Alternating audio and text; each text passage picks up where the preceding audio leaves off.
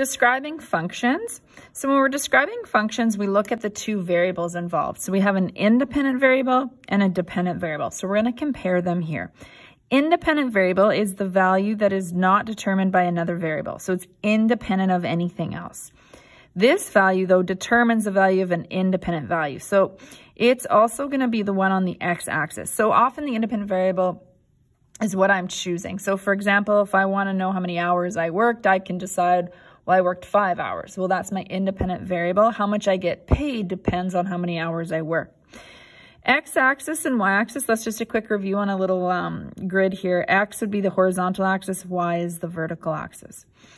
Your dependent variable is the value, the value is determined by the value of the independent variable. So again, it's going to depend on what the independent variable is. Independent variable, sometimes called the input. Dependent variable could be the output. It's going to be on the y-axis or your vertical axis. So this value depends on the independent variable.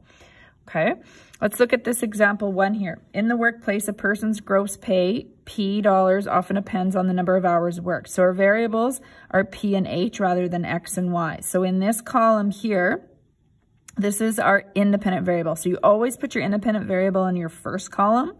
That's always going to represent your domain.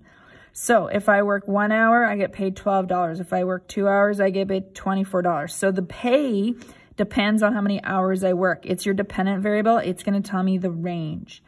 So the independent values are always in the first column of the table and are in the domain. The dependent values are always in the second column of the table and are in are the range.